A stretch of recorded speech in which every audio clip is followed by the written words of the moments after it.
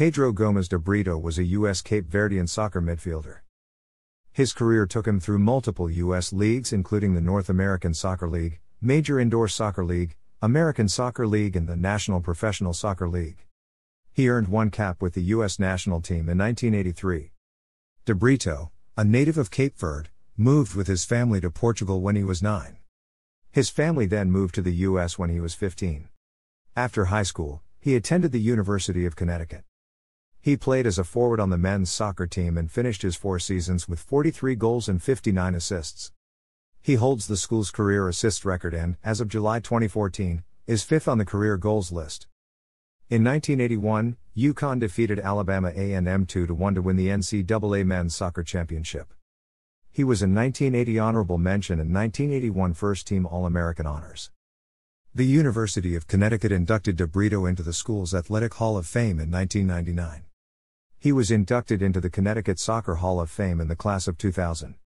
DeBrito was one of 22 college players to be part of the 40 40 club, having both 40 goals and 40 assists in their college career.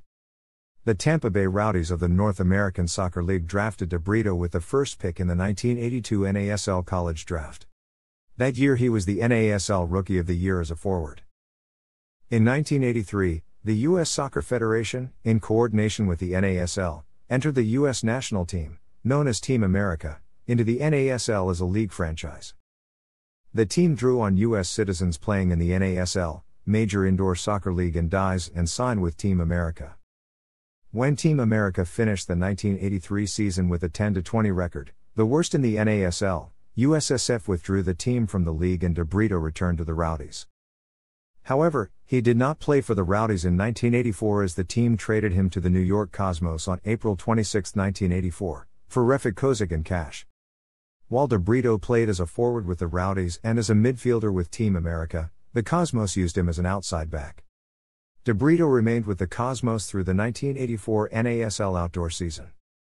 The league collapsed at the end of the season and the Cosmos jumped to MISL for the 1984 to 1985 season. However, the Cosmos did not last the season and DeBrito signed with the Dallas Sidekicks as a free agent on September 10, 1985. On February 13, 1987, DeBrito injured his right knee putting him out for the remainder of the 1986 1987 season.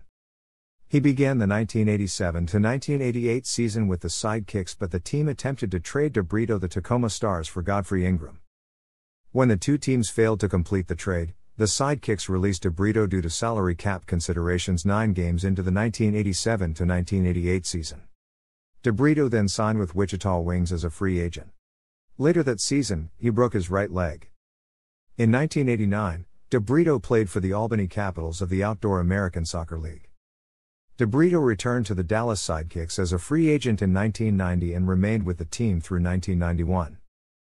On December 2, 1992, he signed with the Detroit Rockers of the National Professional Soccer League and played with the team until 1994 when he retired from professional soccer. He later spent time in Portugal before returning to the United States and settling in Miami where he continued to play for local recreational soccer teams.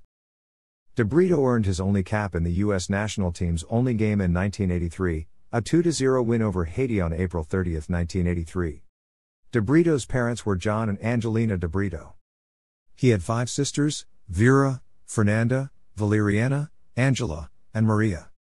His younger brother, John DeBrito, was also a professional soccer player in the 1990s and early 2000s.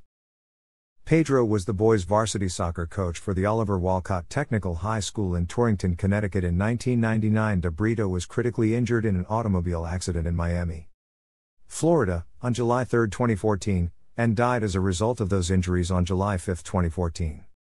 He was on his way to work as a manager of the Drew Estate Cigar Company when the car he was driving hit a tree in the median. Thanks for watching.